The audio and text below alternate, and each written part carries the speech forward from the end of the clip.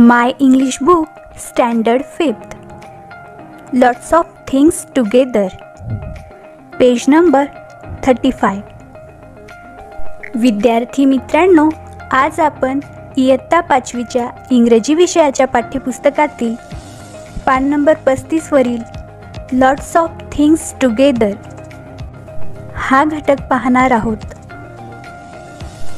एकाच प्रकारच्या एकापेक्षा जास्त म्हणजेच अनेक वस्तू एकत्रित असतील तर त्यासाठी आपण मराठीत गट समूह कळप घोळका गठ्ठा इत्यादी शब्द वापरतो. बरोबर की नाही? त्याचप्रमाणे एकाच प्रकारच्या अनेक वस्तू एकत्रित असतील तर त्यांना इंग्रजीत काय म्हणायचे हे आपण या घटकात शिकणार आहोत. चला तर मग सुरुवात करूया. या चित्रात आपल्याला पक्ष्यांचा समूह उडताना दिसतोय. याला आपण इंग्रजीत अ फ्लाईट ऑफ बर्ड्स असे म्हणतो.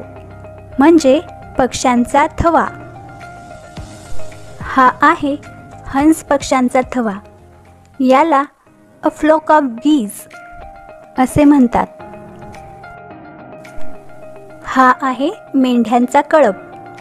याला अ फ्लोक ऑफ शीट असे म्हणतात. हा आहे झाडांचा समूह. झाडांच्या समूहाला आपण मराठीत वनराई म्हणतो. त्याचप्रमाणे इंग्रजीत त्याला अ ग्रो ऑफ ट्रीज असे म्हणतात. कुत्र्यांच्या समूहाला अ पॅक ऑफ डॉग्स असे म्हणतात. ही आहे मधमाशांची झुंड. झुंड या शब्दासाठी इंग्रजीत स्वार्म हा शब्द आहे.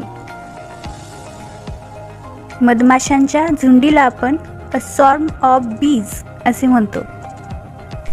मुंग्यांचा समूह आपल्याला वारुळाच्या ठिकाणी जास्त प्रमाणात आढळतो. या मुंग्यांच्या समूहाला अ कॉलनी ऑफ अँड्स म्हणजे मुंग्यांची वसाहत असे म्हणतात. हा आहे गुरांचा कळप. गुरांच्या कळपाला अ हर्ट ऑफ कॅटल असे म्हणतात. मुलांच्या समूहाला अ ग्रुप ऑफ चिल्ड्रन्स असे म्हणतात. हा आहे खेळाडूंचा संघ. खेळाडूंचा संघ म्हणजे अ टीम ऑफ प्लेयर्स. माणसांच्या समूहाला अ क्राऊड ऑफ पीपल असे म्हणतात.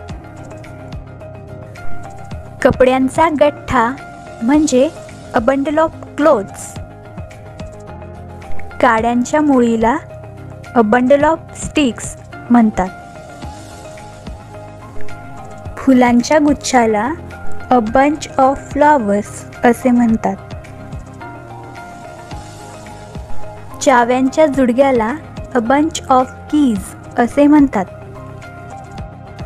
द्राक्षांचा घोस म्हणजे अ बंच ऑफ ग्रेप्स चित्रे पाहून पुन्हा म्हणूया. A flight of birds a flock of geese a flock of ship a grove of trees a pack of dogs a swarm of bees a colony of ants. A herd of cattle, a group of children, a team of players, a crowd of people, a bundle of clothes, a bundle of sticks, a bunch of flowers, a bunch of keys, a bunch of grapes,